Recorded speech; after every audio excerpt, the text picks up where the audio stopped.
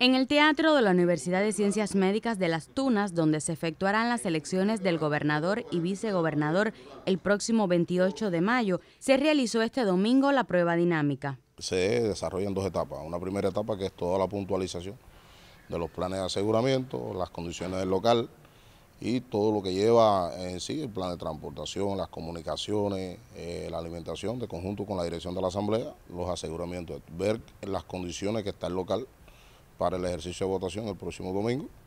Y bueno, hasta ahora lo que se realizó se hizo en muy buenas condiciones, la prueba dinámica, también se puntualizó la conectividad con el sistema para la información en el sistema hoy de la prueba dinámica y para el próximo domingo. En el Consejo Electoral del municipio Tuna se hizo un ejercicio donde se simuló la realización del sufragio el escrutinio, el cómputo y la validación de los resultados. El Consejo Electoral Provincial desarrolló previo a esta prueba dinámica una amplia capacitación a las autoridades municipales y provinciales, así como a los diputados designados para presidir conjuntamente con estas los actos de votación en cada territorio.